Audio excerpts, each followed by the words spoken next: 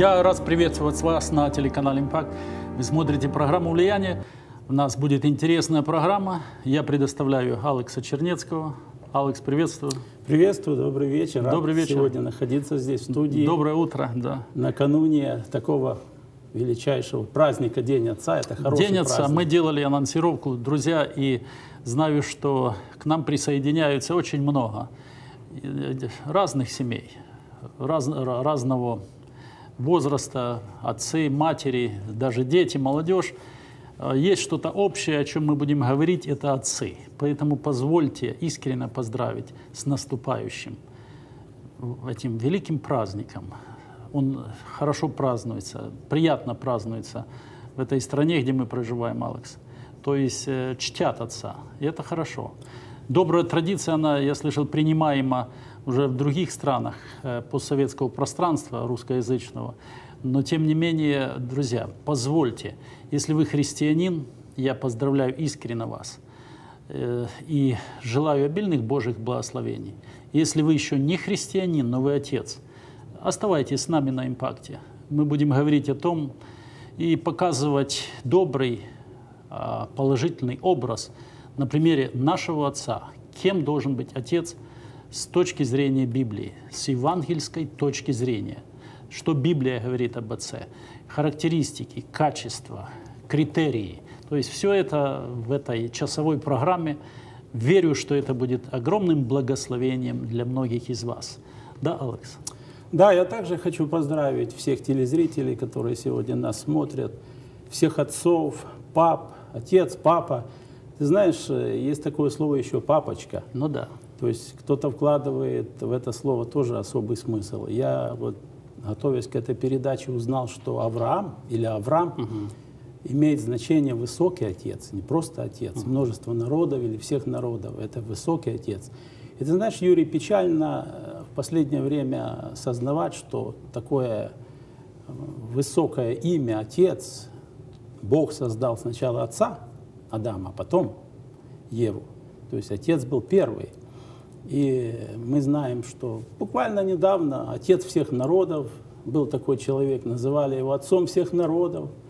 А в последнее время э, еще можно видеть такое явление, как два папы или две мамы. А это еще хуже. Это да. еще хуже. То есть, но мы, христиане, понимаем, что отец – это есть отец, и приятно сознавать, тем более я являюсь отцом, и мне приятно, когда отмечается в Америке День Отца, это приятно, это очень хорошо. Поэтому, друзья, оставайтесь с нами на импакте. Сейчас будет э, небольшая песня, посвященная вам. И в период этой песни, во время, пожалуйста, позвоните тем из ваших друзей или э, родственников, или отцов. э, Позвоните, скажите, чтобы они присоединились к этому эфиру. Прямой эфир, поэтому присоединяйтесь. Поэтому э, через несколько минут мы снова встретимся с вами. Будьте благословенны.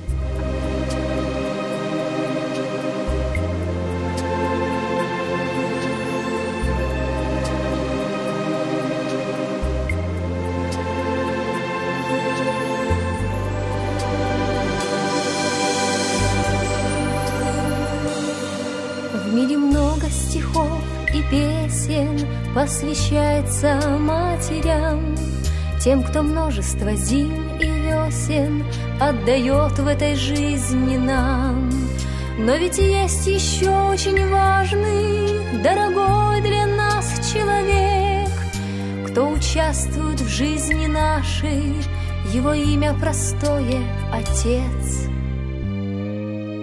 Он идет с нами в жизни рядом, охраняя наш сон и покой, придает нам уверенность взглядом, помогает нам сильной рукой.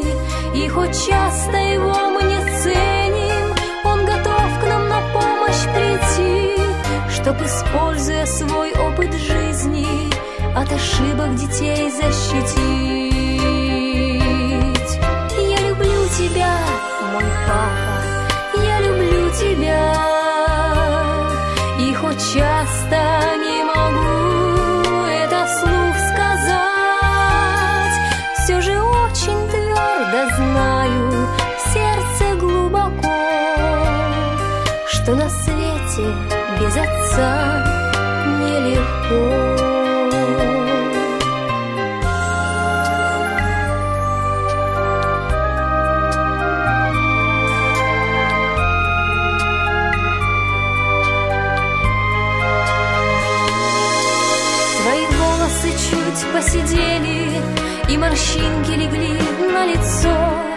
Но все так же ты сильный и смелый Остаешься мне нужным отцом.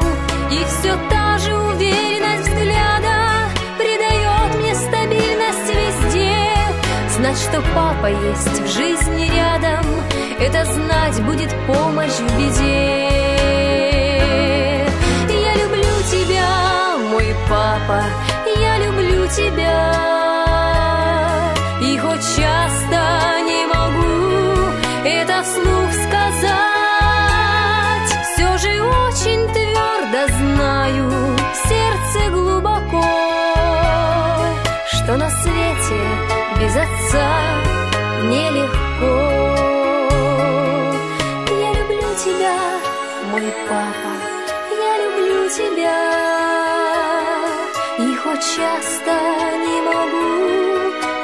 вслух сказать.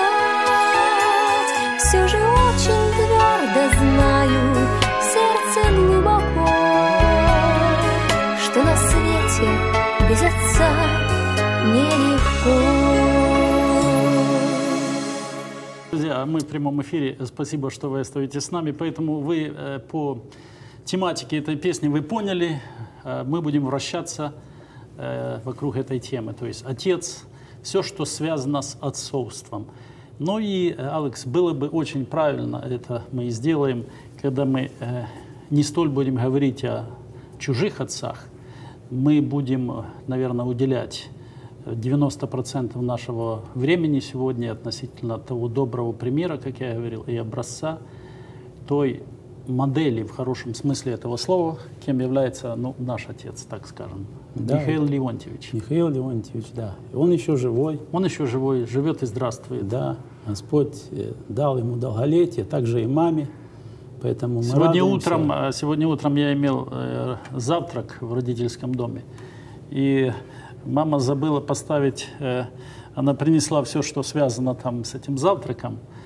Вот. Не то, что забыла, она, может, думала впоследствии поставить э, ст- стакан, э, ну не вина, стакан не вина, а стакан компота вкусного. Потому что в христианских семьях, в наших семьях, дорогие соотечественники, мы не практикуем употреблять спиртные напитки. Так я в сторону сделал ремарк. И, вот. и э, вижу, отец идет со стаканом э, компота. Видно, он заметил где-то, хотя в стороне был, и поставил мне стакан компота для того, чтобы я не подавился вкусным бутербродом. То есть, то есть мы э, видим нашего отца постоянно, постоянно, уже на протяжении многих лет. И приятно осознавать, что Отец наш, как я уже сказал ранее, живой и здравствует, и мама также. И ты знаешь, как ты сказал, что зачем нам говорить за каких-то других отцов, если у нас есть свой отец, с которого можно взять пример. Я думаю, действительно, пример достойный подражания. И приятно осознавать, что его жизнь оказывает на нас влияние, на нас всех детей. Ты На знаешь, в одной из сестер. церквей, в одной из церквей я э, сделал такую ремарку в проповеди прямо, в одной из известных церквей в Америке, о том, что лично я являюсь э, продуктом. Ну, не в смысле фрукт, фрукта или овоща, но в смысле продуктом молитв э, отца и мамы. То есть, я думаю, ты, ты скажешь то же самое в унисон мне. Наверное, из сыновей я был э, не самый из блестящих в молодости, не самый из самых таких примерных и глядя на которого можно лицезреть вот саму, саму доброту. То есть э, в 14 лет, в 15 э, в, э, в роли подростка, так скажу, вот больших грехов не делал, но одним глазом я смотрел на, что называется, фантомас разбушевался. Ну, ты как-то однажды говорил, Ага. даже не однажды, ветер в голове был. да. Э, Фантомас Ну, разбушевался. В таком возрасте заглядывал. многие Вот. имеют ветер в голове. И это. И вот а, почему продукт? А, потому что, а, потому что действительно то, тот пример э, отца и мамы, в, данном случае мы говорим за отца, он э, на меня и на тебя, на всех нас э, повлиял и оказал э, громадное, огромное значение. Ты знаешь, а, кстати, размышляя перед программой, я вспомнил о- обращение апостола Петра, первое, первой главе. «Зная, что нетленным серебром или золотом искуплены вы от суетной жизни, преданной вам от отцов». Это не о нашем отце. Когда здесь написано «суетная жизнь», это имеется в виду греховная жизнь. То есть это не о нас с тобой. Это слово не о нас с тобой в контексте того, что Отец нам греховную жизнь не передал. То есть апостол Павел говорит нетленным серебром, там он, Петр развивает мысль, что э, человек по своей натуре, он принял греховную жизнь от отцов. Но если говорить в контексте нашей беседы, мы не видели со стороны наших, нашего отца ничего подобного, то, что можно охарактеризовать как какая-то пагуба, грех или все, что связано вот с негативом. Ты знаешь, Юрий, вот уже отцу нашему э, 80 с лишним лет. 80 с лишним лет. И, 84. ну, будет 84. И сознательная жизнь наша вот с тобой, примерно, ну, когда мы начали понимать уже, подросли, примерно лет, я думаю, 65, ну, может быть, 70, да? И вот, ну, возьмем 70 Ну лет. да. За 70 лет, сколько вот мы с нашим папой, я ни одного не слышал, и ты также, и из детей никто не слышал какого-то вульгарного слова. Никто не э, видел, как ты сказал, рюмку, стакан с вином, с алкоголем. Ник- Это исключено. было. Никто не видел папиросу в его руке. И не из-за того, что это был запрет. Это было что-то другое, Алекс. Что это было? То есть это не было то, что это был просто запрет, э, которому объяснения нет. Это, этому, это, это, это, это что-то другое, чем просто запрет законов, которым следовал отец. Ну, это э, надо сказать, что отец с детства верующий, с самого детства, а передал ему веру его отец, наш дедушка. И как ты читал от отцов, если брать на поколение отцов, было же много всяких отцов, даже если мы в царств читаем. Отец был такой, сын ходил другими путями, и наоборот. То есть это же за столько тысячелетий, сколько прошло отцов. И плюс к этому, подтверждение твоих слов, очень много мест в Старом Завете говорит Бог отцов, даже Господь говорил, «Я Бог отцов ваших, выведший вас крепкой рукой из земли египетской». И когда пророки даже говорили, и Моисей говорил, Бог отцов ваших вывел. И впоследствии, когда про- пророки говорили, что, а, то есть, а, един, всемогущий, э, в одном, в одном лице Бог, который вывел отцов ваших. То есть мы можем сказать, э, э, вот так скажу, наверное, уверенно, что мы служим Богу нашего Отца. Я Богу думаю, это, нашего это будет Отца. правильно Это будет сказать. правильно, да. И Богу наших дед- дедушек. Да, совершенно верно. Потому что, как я сказал, отец действительно христианин с большой буквы. То же самое можно и за маму сказать, но поскольку Да. мы говорим за отца, то я вообще восторгаюсь и восхищаюсь своим отцом и нашим отцом, потому что это наш отец. То, что он передал для нас, это дороже всех миллионов в мире, то, что он передал, и не только нам. Потому что передать веру, это очень много значит. И если ты помнишь, любимое выражение отца, когда вот он нас собирал, помнишь, еще на Волынске, он часто нам говорил... Вы знаете истину. Вы знаете истину. Вы же знаете истину. То есть, ты знаешь, был у меня какой-то такой момент э, в школе, вот как ты говоришь, хотя я тоже в мире не был, но знаешь, вот подростки есть подростки, и он тоже нам говорил, может быть, не только он, и другие говорили родители, но я помню, он говорил, им можно, а тебе нельзя. Помнишь, да? Ну да. Им можно, а тебе нельзя, потому что ты христианин. И вот э, такое воспитание, какое мы получили с детства и потом в молодости, оно остается и по сей день я уже сам отец, и я так воспитываю своих детей. Ну, ты знаешь, глядя на жизнь наших родителей, мы можем порассуждать так один на один, вот, э, чтобы никто не слышал, один на один мы с тобой говорим, вот, в узком кругу о том, что э, на примере наших родителей я видел сочетание э, в, какой, в какой-то мере строгости отца и э, Мягкости мамы. мягкости и любвеобильного отношения мамы. Мамы. Вот это вот такое сочетание, оно, оно очень правильное, оно было естественно.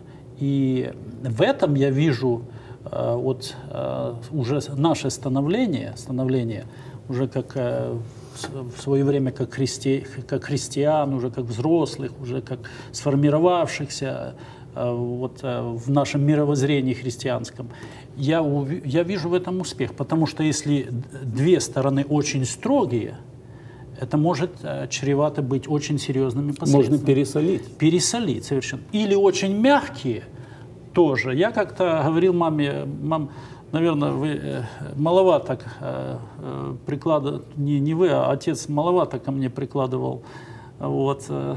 Если бы больше, может, прикладывал по заднему месту, может, я еще лучше был бы, не Юрий, знаю. я Ну да. свидетель то- тому, что ты говоришь. Смотри, я за свою жизнь единственный раз помню, что папа меня наказывал ремнем. Знаешь, когда это было? Нет. Когда я в школе немножко, я вообще был круглый отличник, а потом начали с соседями там строить э, буды И ты четверку получил, и он дал тебе ремня.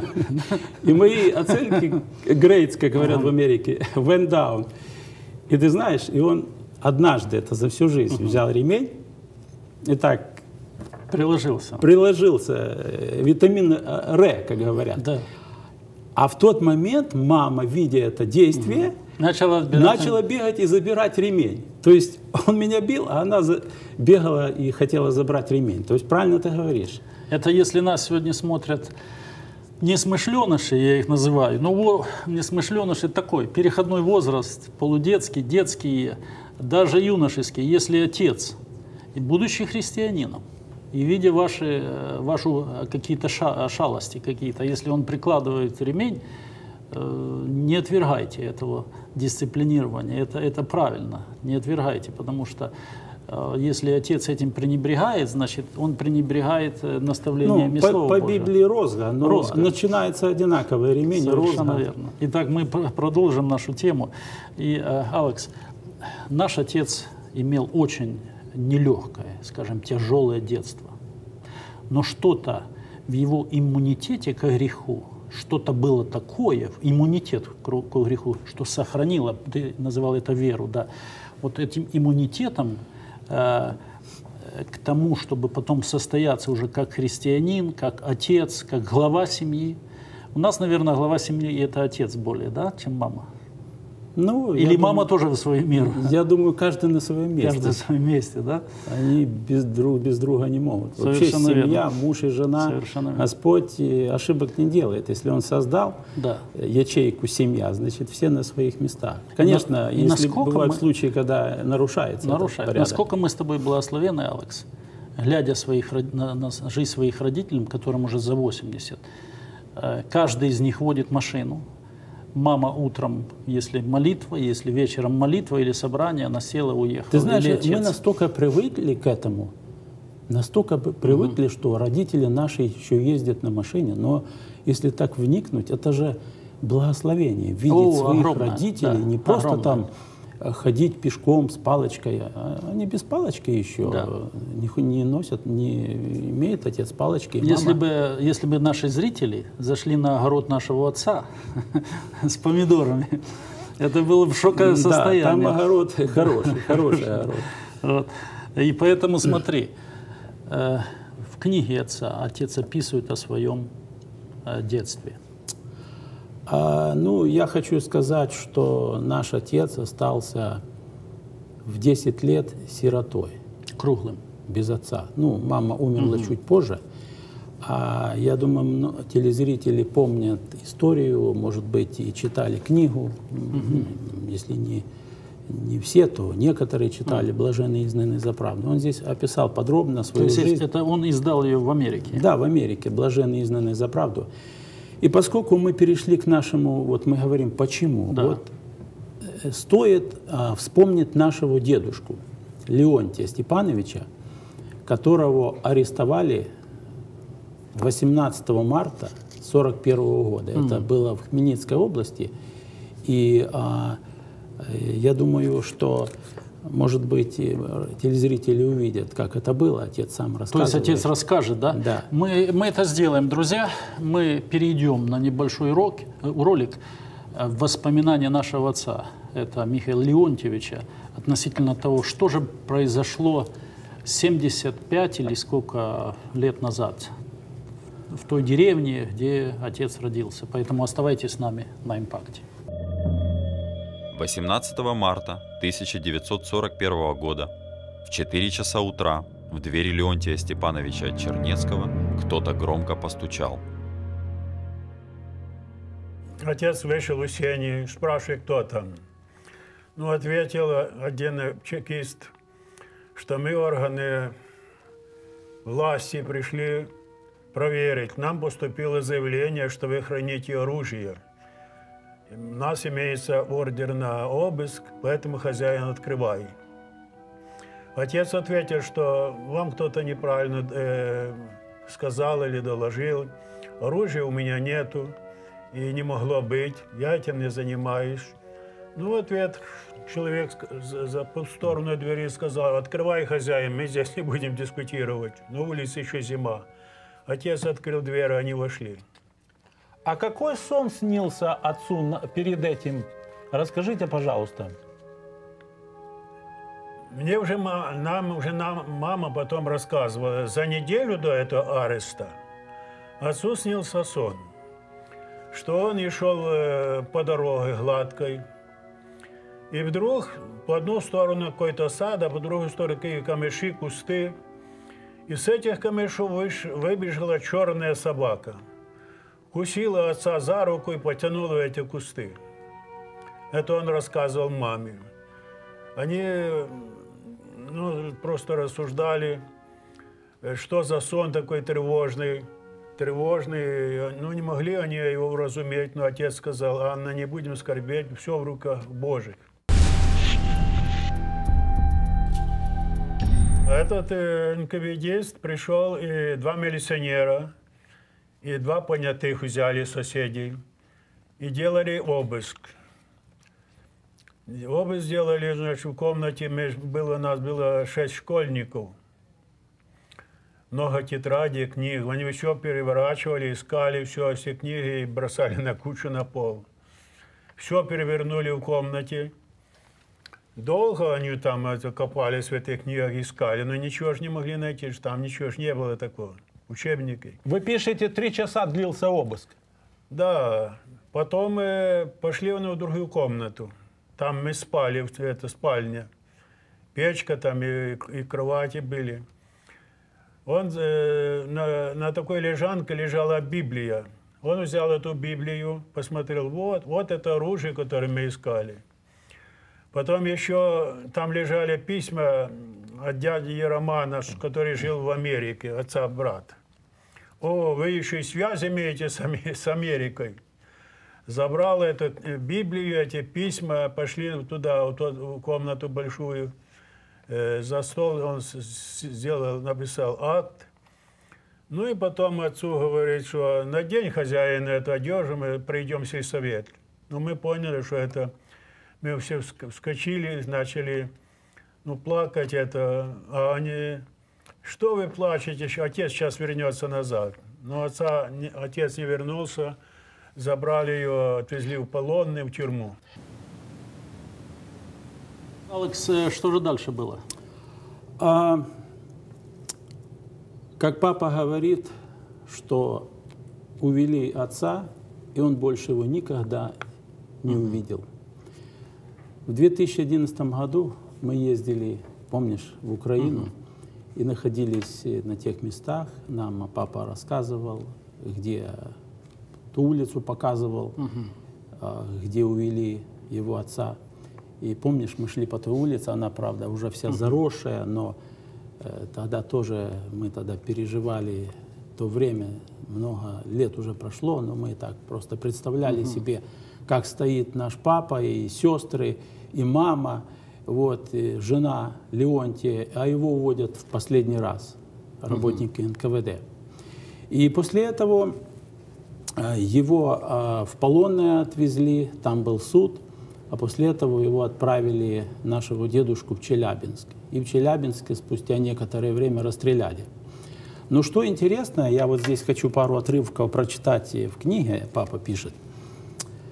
А, Он здесь пишет э, в третьей главе. «Прошло несколько десяти- десятилетий в полной неизвестности о судьбе моего отца. И хотя я тогда уже жил в Донецкой области, но очень часто приезжал в свою деревню навестить родные места. Ко мне подходили мои бывшие односельчане и делились воспоминаниями об отце, а также о человеке, предавшем его. Но о том, что все-таки, что же все-таки происходило в нашей деревне на самом деле, и о дальнейшей судьбе моего отца я узнал намного позже. То есть в то время, в 1941 году, они не знали, что произошло. И он дальше пишет так. «Перед самым отъездом в Америку я приехал в свою деревню и решил пройтись вдоль реки. Там на берегу я встретил старика, закинувшего удочку в воду и ожидавшего улова. Я подошел к нему, поздоровался и спросил, как рыбалка, клюет понемногу? Старик молча указал мне на рядом стоящую сумку. Там было два карася, каждый весом в полкилограмма и один чуть-чуть больше ленок. Вдруг старик внимательно посмотрел на меня и спросил, «А ты чай будешь?» И, не дожидаясь ответа, сказал, «Мне кажется, ты похож на своего отца». Я улыбнулся и спросил, «Кто же мой отец?» Он ответил, «Леонтий Чернецкий». И здесь, возле реки, этот старик рассказал нашему папе, что произошло дальше с отцом. Оказывается, уже там в тюрьме а, сидел тоже один однофамилец, Чернецкий, и он был свидетелем последнего, последних моментов жизни уже дедушки Леонтия в Челябинске. Перед Оказ- расстрелом. Перед расстрелом. Оказывается, он встал в камере и начал проповедовать о Иисусе Христе сокамерникам. И, вид- по-видимому, надзиратель услышал или как, и пришел в камеру и сказал, собирайся. И об этом возле реки э, этот, все рассказал этот старик. Но что мне интересно вот здесь, э, что на меня повлияло, это папа уже дальше пишет, а это папа пишет после этого рассказа. Словами не передать, что чувствовал я тогда на берегу реки. Вдруг жуткие воспоминания прошлых лет всплыли передо мной, и мне показалось, что я вновь маленький девятилетний мальчик, то есть ему 9 лет, даже, даже 10 не было. Вот я стою в оцепенении у калитки родительского дома и смотрю вслед уходящему под конвоем любимому папочке. Я стою и тихо плачу. Рядом со мной всхлипывают мои старшие сестры и брат. Рыдает мама. Вот мой любимый папочка оглядывается в последний раз, и его стройный силуэт скрывается из нашего вида. Папочка, я верю, что ты вернешься. Я верю, что вновь увижу тебя. Ты вернешься, и все у нас будет хорошо. Ах, если бы я только знал тогда, что уводили его от нас навсегда. Грусть вновь холодной волной нахлынула на меня, и слезы медленно покатились по щекам. Вдруг мои воспоминания, словно туман, рассеялись, и рядом со мной уже не было ни сестер, ни мамы, а только старик, мой собеседник. Я сердечно поблагодарил его за ценные сведения. Ну еще бы, такие сведения старик ему рассказал спустя столько лет. Теперь я знал, что последние мгновения своей жизни мой отец провел, совершая великое поручение возлюбленного им Спасителя – проповедовать Евангелие всей твари. Да, папа, теперь я твердо знаю, что вновь увижу тебя у ног нашего Господа Иисуса Христа. И что интересно, э, после этого рассказа отец с сестрой Ириной и с, и с мамой поехали в Челябинск, там, где и нашли ту тюрьму. Потому что так получилось, все-таки ирония, наш меньший брат Павел служил в Челябинской То в армии. 50 лет спустя, Спустя служил. отец, отец попал туда. Да. И папа с мамой и с Ириной поехали туда, и там одну женщину встретили, которая им рассказала э, за эту тюрьму. Ну, там уже, может быть, той тюрьмы нету, но она... э, Об ужасах происходящих, ее, да? а Ее отец, кажется, рассказывал, как один старик вывозил с этой тюрьмы на, лошадя, на лошади постоянно э, тела, накрытые брезентом. То есть отец узнал вот то, что произошло. То есть отец узнал о бесчинствах э, и беззакониях той сатанинской, сатанинского режима, дьявольского, а вот который столько людей погубил, и которого называли отцом народов. Хотя он был отцом, э, мы понимаем, не народом, а отец у него дьявол был, он был сыном своего отца. Вот мы говорим о этом пагубном, негодном режиме, ну, который канул уже в лету, но еще там э, э, делаются попытки ре- реанимировать этого мертвеца. Вот. Но тем не менее, вот действительно то, что э, вот спустя много лет, много лет и не единожды, не единожды в мировоззрении нашего Отца, и, наверное, не наверное, а точно а в унисон мне э, тысячи и десятки тысяч рожденных свыше отцов сегодня, мужчин, скажут в унисон, что не единожды они не поколебались в вере, они не пошатнулись. Даже лишившись э, своих родных, близких, оставшись э, круглым сиротой, но что-то невидимое, но мы понимаем, Бог невидимый, но близкий, такой реальный, он сопровождал и сопровождает наших родителей вот, до последнего дня. И та ночь осталась в памяти. Это получается уже 18 марта, это уже 19 получается. Хотя нет, 18, Да. потому что утром пришли, в 4 часа утра. И возвращаясь к ранее вопросу, который ты задавал, что именно повлияло на отца? Вот это и повлияло, то, что мы сегодня говорим. Безбожная власть. А, Сколько людей погибло? Не только наш дедушка, Ну да. а сколько таких, представь, детей, жен, матерей стояли и в последний раз видели своих отцов, своих, э, э, своих отцов, своих мужей, которых уводили э, э, НКВДисты. Это был настоящий геноцид. Э, В свое время Гитлер э, э, и- делал геноцид против еврейского народа, а против э, евангельских христиан, против верующих, против служителей церкви, против проповедников, евангелистов, как мы говорим, э, кем и был наш отец, служителем слова. Это был настоящий геноцид э, верхушки против собственного народа и против тех, которые по большому счету являлись и являются по сегодняшний момент самыми, э, самым лучшим примером, то есть самым лучшим примером того, кем должен э, быть человек, как гражданин, как гражданин. И они служили Господу до конца. Сколько людей, вот э, это, как мы говорим, отец всех народов в кавычках погубил, но веру не смог забрать. Погибли в тюрьмах, в лагерях, но веру сохранили. И вот эту веру сохранил наш отец. В лице дедушки, дедушка ему передал, и он эту веру пронес и несет до сегодняшнего Как дня. ты передаешь, Алекс, э, свои- своим? В тебе трое мушкетеров. Как ты передаешь? То есть ты состоялся как отец, ты считаешь? Я думаю, что я состоялся. Почему? Потому что было время, когда я сеял, и я теперь вижу плоды, хорошие плоды. И у меня трое сыновей, уже трое дочерей. Это жены моих сыновей, уже все женатые. А также уже есть у нас э, пять внуков, но троих уже забрали в Украину.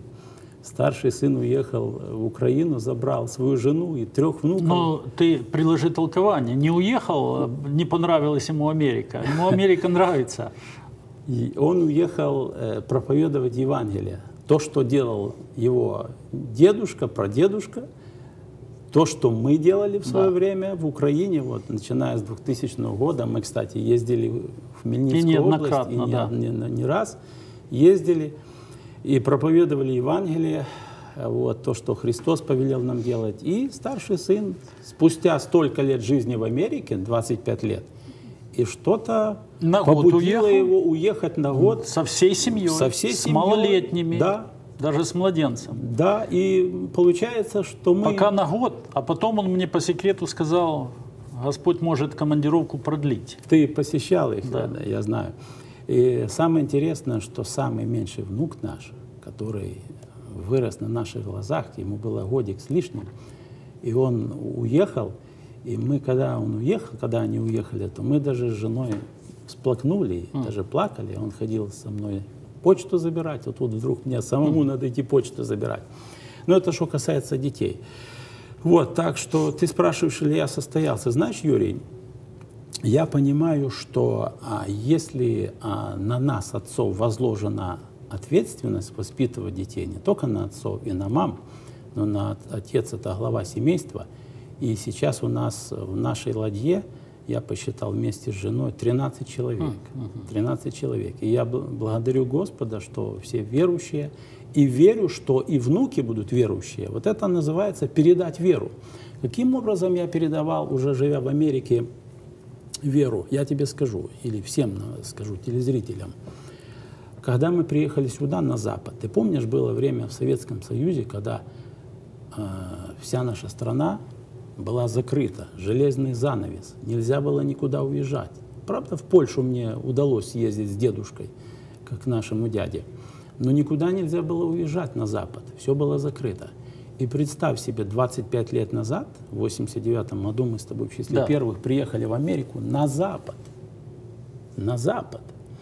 И когда мы привезли, как Водневский говорил, самое драгоценное, что мы привезли сюда, это не самовары и подушки и одеяла, а детей наших. И здесь, в Америке, нужно было с самых первых дней узнать, в этих джунглях разобраться, какие здесь опасности. Если мы едем в Африку или в какие-то другие тропические страны, то мы наверняка... э, в Змей ре- боимся. Змей, Да. э, крокодилов в реках, да? Ну, конечно. А здесь в Америке разве их мало, этих опасностей? Первая опасность – это когда мы только эмиграция началась, никто не понимал опасности наркотиков даже взять. Я не говорю там за курение, за алкоголь, наркотики. Когда-то в Советском Союзе наркомания это, это вообще была редкость. Днепропетровской области, в Першотравенской э, судили одного наркомана, я там тогда работал после техникума на практике, и когда судили, так там актовый зал собрался, наркомана живого увидели. Вот тогда.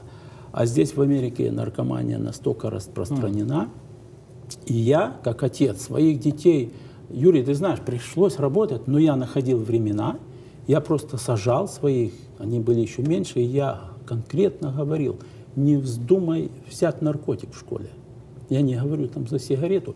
И ты знаешь, вот как 35 глава Иеремии мы читаем, «Дом рехавитов», Ионадав отец. Чаши вина поставили, но они что сказали да. дети? Не будем, потому Да. что наш отец э, Завещал завещал, и мы не будем. Ты знаешь, Юрий, если говорить сегодня даже в наше время, к моему ужасу и удивлению, христиане позволяют себе выпить немного вина, где-то там они видят их, не видят, как ты раньше говорил. Я понимаю, что вино, как христиане, мы только можем употреблять только во время вечери, немножечко, которая символизирует кровь Иисуса Христа. Я не понимаю, что 50 грамм выпить, допустим, вина, это ты уже согрешишь и пойдешь в ад. Нет. Но мое личное мнение, как бы кто ни говорил, я понимаю, и так детей своих научил, и они так поступают. Ни капли вина, ни капли алкоголя. К стыду и сожалению, Алекс, эти берега размыты, э, очень размыты, особенно э, в нашем воцерковленном обществе, славянском, э, наших соотечественников, очень размыты. Я не говорю даже людей, о, о людях, которые далеки от Бога, как небо далеко от земли, но э, пользуясь некоторой информацией вот, и общаясь с рядом служителей, приходится выслушивать то, что эта пагуба, она коснулась очень многих, очень-очень многих К сожалению. к сожалению и к стыду. Поэтому э, насколько, э, насколько сильным и эффективным влиянием со стороны отца является его э, не просто запрет, но его воздержание, собственный пример. Он этого не делает, и, и детям этого не желает. И даже А если он сам это делает, а детям говорит, Не делайте. не делайте, Бесполезно. бесполезно, бесполезно. Да. То есть это эта сторона. Вторая сторона, наверное, э, реалии нашей современности в Америке, где так все, где жизнь поистине суетна, всевозможные давление бизнеса, окружающей среды, билы надо оплачивать, дома покупать, продавать, машины заправлять и прочее. То есть это ставит в рамки отца быть очень занятым, дабы семью прокормить, билы оплатить и в их глазах не, вы, не выглядеть несостоявшимся американцам в Америке. И поэтому очень много есть крен в то, что они зарабатывают, зарабатывают. Один лично плакал в плечо и говорил, я же все делал для детей. А трои, трое сыновей ну, покатились э, не просто по наклонной, а покатились в пропасть. Вот, говорит, я же все для их делал. Знаешь, Юрий, нельзя только винить здесь вот родителей. Несомненно, И, да, несомненно. Бывают всякие ситуации. Я не хочу сказать, что вот я говорил детям, и они такие. Многие отцы говорили и говорят, но, увы, получается другая картина совершенно. Ты знаешь, мне кажется, мы просто как христиане не успеваем. Я не хочу сказать, что вот мы должны все воспитывать. Иногда, знаешь, в церквях даже можно услышать, вот, воскресная школа – это не все, надо дома. Правильно, воскресная школа должна содействовать правильному развитию и воспитанию, и родители дома. Но, как ты говоришь, занятость, гонка а, не дает, не оставляет времени воспитывать детей. Но даже бывают случаи, когда родители, папы и мамы прилагают усилия, находят время, говорят, молятся, тем не менее дети уходят в мир, идут в тюрьмы, сидят в тюрьмах. То есть здесь нельзя поставить резкую границу. Здесь что-таки... Мы на- не успеваем. Это правда. Настолько большое давление Это мира, правда. Запада. Да. Вот я люблю это выражение Запада. Ты знаешь, все-таки надо отдать должное той стране, где Востоку. мы выросли. Востоку, да. Ты знаешь? Ну, надо отдать должное. Ну да. Тоже. Ну, были, несомненно. Некоторые отдают должное мусульманским даже странам, но для меня это не показатель. Ну, это не А, Говорят, показатель. вот они в парадже ходят, и нам надо в парадже ходить. вот это вот э, Юрий, женщинам. Но, все-таки согласись того, что, как мы Мораль говорим, была. опасности, Мораль была. которые сегодня на Западе, Совершенно их верно. очень много. Ты Совершенно. помнишь, ну, даже взять, ты знаешь, где мы жили на Светлой? Там, где интернат был. Интернат А- был. А, сейчас интернет. А теперь интернет. Совершенно верно. Интернет способствует тоже разложению. И вот смотри, Алекс, возвращаясь к, вот, к финансовой составляющей семейной, а, я не, не, не могу забыть одного момента, когда со мной работал один человек не так давно. Вот, я его просил там кое-что делать по дому. И, э, вот, и он, э, знаю, что он зарабатывал неплохо, зарабатывает неплохо. И вот одна мысль, одно выражение в его устах а, ну, меня мало чем шокируешь. Уже если тебе за 50, вот ты ко всему привык и, и уже, э, скажем, э, видал виды. Но, говорит, христианин будучи, примерный христианин, член церкви, все, там даже один из служителей говорит, Юрий, моя жена меня постоянно клюет. Клюет ну, я знаю это слово. Я говорю, а в чем -то твоя проблема? Она говорит, постоянно клюет, что я мало денег приношу. И он говорил это на полном серьезе. И я вспомнил, я вспомнил а, свою жену. Наш достаток по сравнению с ним намного ниже, финансовый. Это я не плачусь в плечо, но с тем, что и ни разу мне моя жена ни разу за много лет нашей совместной жизни ни разу не сказала, что Юрий, ты мало денег приносишь там, или у нас э, малый финансовый бюджет.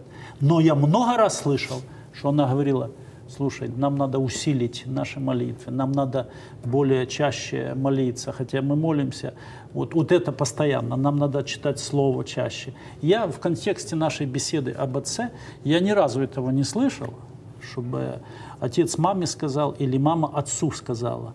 Мы жили, э, скажем, э, небагато, Вот. Но из-за того, что отец много работал ради нас, нас семеро было в семье, и не, и не скажем, что мы бедно жили, сверхбедно, но и не богато. Вот. И ни разу мы не слышали из уст родителей вот эту финансовую составляющую, когда они друг другу, ты мало или ты много, или укоряли я, друг друга. Я тоже не слышал. Такого не было. Ты знаешь, э, вот ты говоришь, моя жена тоже здесь ни разу мне не сказала, в Америке ты мало приносишь. Ни разу такого не было. И вообще, если говорить за детей, мы оба воспитывали, воспитываем детей, молимся. А что касается, э, да, нашего отца, вообще, я помню Нововолынск, он уезжал там в Запорожье, еще куда-то. Вот, и сколько он строил, да? Да. Вот перестраивал, все за, в шахте сколько проработал, и все. Тяжело работать. Тяжело. И ты знаешь, и, но, а, может быть, там не было таких бесед, вот как я говорю, нужно беседовать, вкладывать, воспитывать, сеять. Может быть, даже не, э, он этим не занимался, потому что не было Да. возможности, работал в ночную Да. смену. Но, тем не менее, в служение мы ходили все время. Помнишь, на четвертую шахту одевали резиновые Да. сапоги. По грязи. Слякоть, не слякоть, мы все шли в служение. И мы воспитывались в служениях. Вот. А, Поэтому... Но вот это сохранилось по сегодняшний вечер. Помнишь, э, год или два назад ты предложил отцу э, поехать где-то на океан в среду. И его реакция была такова, как будто ты его в блуд толкнул его 80 лет, потому что в среда, среда вечером для него это святой день, так как и воскресенье. Святой день Ну и это служение и тоже. молитва. И пятница, да, три дня в неделю. И когда он упрекнул тебя, что поехать на океан, пропустить молитву вечером, вот, то есть его реакция такая, то есть это оно сохранилось на всю жизнь. Сохранилось на всю, жизнь, да. жизнь. Прилежность, не будем оставлять собрания наших. Да, действительно так. Это те примеры, которым стоило бы подражать очень многим, очень многим. Мне один на днях говорит, я говорю, как часто ты э, церковь э, посещаешь? Хотя я слово э, посещаю церковь не люблю, я никогда не использую этого слова. Когда мне говорят, какую церковь посещаешь, я говорю, посещают больного. Был болен, посетили. Я страшно не люблю этого слова. Посещать можно больного, в тюрьме человека. Посещать можно Мексику или Гавайи. Ну, а но в в церковь, церковь ходить, ходить надо. нужно. Или пребывать ездить. в церкви. Или ездить. Я не люблю слово посещать. А я слово всегда поправляю. прихожане ты любишь? А, прихожане это что-то при. Тоже не люблю, страшно не люблю. Я не использую. При это где-то там сбоку припеку. Ты должен быть член церкви. Прихожанин это Я пришел, тоже, ушел, пришел, Почему-то ушел. вот когда говорят прихожане, меня оно тоже режет слух. Да. Прихожане это пришел, ушел раз в году. А член церкви, член тела Иисуса Христа. Это правильно. И поэтому, возвращаясь к этой мысли, действительно, если видя эти добрые примеры со стороны отцов, в частности, тогда понятно, что э, ему подобные его дети, они будут следовать не, не, не тому, что он увещевает или говорит, а тому, как он поступает и как он делает. Это незыблемый закон. Это закон э, человеческого общежития, что нас притягивает, нас манит образец. И э, этим образцом, то есть этому образцу мы будем подражать. И в хорошем, и в плохом. А ты помнишь детство, вот, э, когда... На светло один. Нет, вот каким ты вот первые годы своей жизни, ты помнишь? Я помню, Каким ты помнишь отца? было- Каким Какие я помню отца? моменты? Помню молодым его. Помню молодым. Э, Помню, что, э, что э, отец... э, Помню его молитвы. Помню молитвы. Хотя мне было несколько лет от роду, но я помню его молитвы. Ну, ты знаешь, я вот если э, говорить за самые первые годы жизни, когда еще мы жили в Донецкой области, в Дзержинске, то единственное, что я запомнил, это когда он меня учил ездить на велосипеде. Сначала он держал сзади, а потом пускал одного. И когда он брал нас на речку, и а, мы сидели на берегу, он А это что Плыл. за речка была? Серьезно? Да, я этого не помню. я А помню. меня не было, наверное. Ну, я, почему я это вспоминаю, я сейчас скажу. И когда мы сидели, малыши, ты тоже сидел, и Виктор, наш брат, сидел, он нас брал, как-то умудрялся на велосипед троих и возил нас недалеко там. И я помню, он в размашку там плывет по реке. И ты знаешь, еще тогда у меня появилось уважение к нашему отцу.